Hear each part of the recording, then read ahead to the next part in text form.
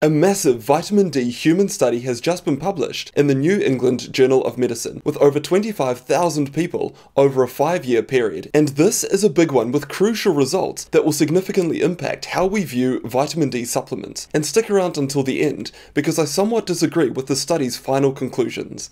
Let's get into it. The paper is titled Supplemental Vitamin D and Incident Fractures in Midlife and Older Adults. It starts by saying that fractures are a major public health problem, especially especially among older adults. An estimated 53.6 million Americans have osteoporosis or weakening of the bones, and vitamin D supplements are widely recommended to the general population as a means to promote bone health. However, data on these supplements to prevent fractures it is conflicting, with some medical societies recommending vitamin D intakes of at least 800 to 2000 international units per day for adults 50 years of age or older to make sure that their blood vitamin D levels levels are above 30 nanograms per milliliter. The trouble is though, results from randomized controlled studies investigating the effects of vitamin D supplements on fractures, they've been inconsistent, with some trials providing evidence for benefit, others showing no effect, and some studies even showing harm. For example, in 2021,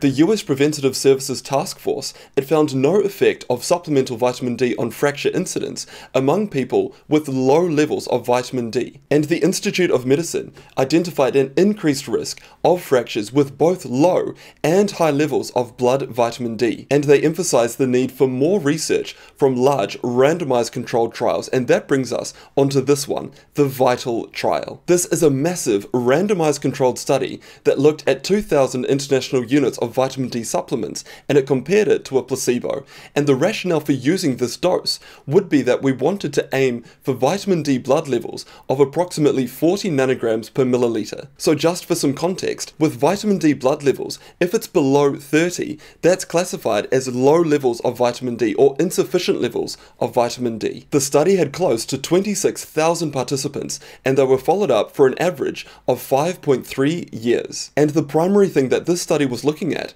was total fractures, non-vertebral fractures as in non-spinal fractures, and hip fractures. So what did the study find? Well, before the study began, they measured the vitamin D blood levels, and they found that the average level was 30 units. So that means that a lot of the population actually have low levels of vitamin D. So because of the role that vitamin D plays in the body, it's reasonable to think that vitamin D supplements, they should improve bone health. And during the course of the study, the group that took the vitamin D supplements, they increased their blood level from 30 to just over 40 units. So did that improve bone health and reduce fractures? Well, unfortunately, no it didn't. There was no difference between the vitamin D group and the placebo group for total fractures, and there was no other differences here in the fracture groups at all. And that's a really surprising result. But what happens when we have a look at the people that had really low levels of vitamin D and then started taking the vitamin D supplements? Surely they saw an improvement in their bone strength. Strangely, that's not what the study found.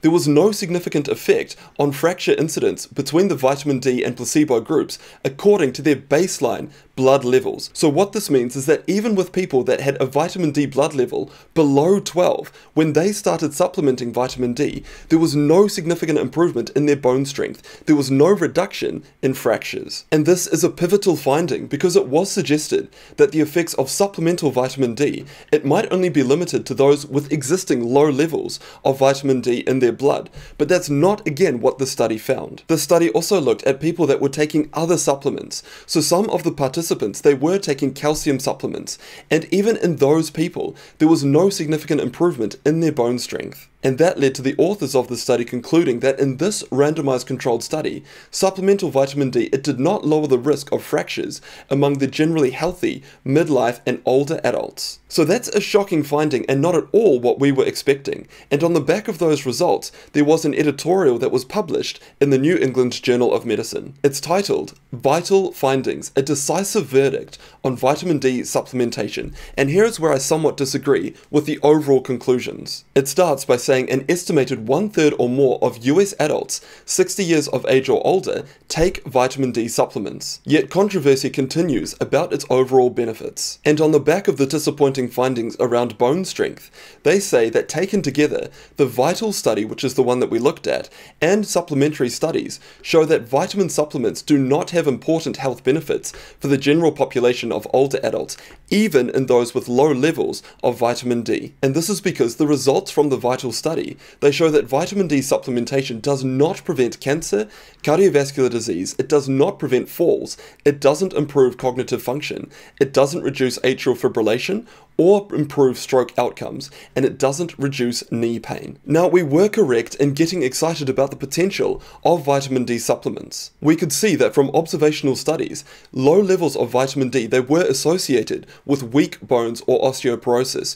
so it was thought that we were going to see improvements in bone strength with supplementing vitamin D. But we can now see that vitamin D supplements, they do not reduce the risk of fractures. This analysis goes on to say that more than 10 million vitamin D tests are performed each year in the United States, and the results from these tests often include the classification of vitamin D as insufficient if your levels are below 30 and deficient if your levels are below 20. And this has led to a lot of people supplementing with vitamin D. But on the back of all of these disappointing results, this article says that there is no justification in measuring vitamin D levels in the general population or treating to a target blood level. Taken together, all of these disappointing results suggest that doctors should stop doing vitamin D blood tests or recommending vitamin D supplements, and people should stop taking vitamin D supplements to prevent major diseases or extend life. Now, overall, I do disagree somewhat with this conclusion. We do have a meta analysis that was published in the British Medical Journal showing that for people that have got low levels of vitamin D,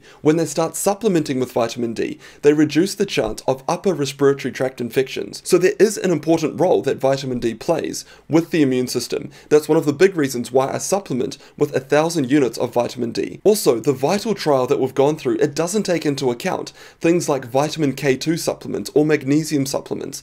There is a possible synergistic effect that we might see with those supplements. Personally, since I spend a lot of time indoors, I will continue my vitamin D supplements of a thousand units per day. I'll also continue my vitamin K2 supplements and magnesium supplements. And again, with those supplements, all I'm trying to do is reach those optimum levels. I'm not advocating for mega dosing. I do think that future studies need to have a look at those combined supplements to see if they do have that synergistic effect. What I do agree with though, and I've mentioned this on the channel a couple of times, is that I don't see the benefit in vitamin D blood tests. The data simply does not support it, despite what other social media influencers will have you believe. A big thank you to the patrons and channel members, and thank you to DoNotAge.org for their $10,000 donation to my rapamycin clinical study. They are a health research organization and to benefit from the ingredients as well as a 10% discount code, check out the pinned comment.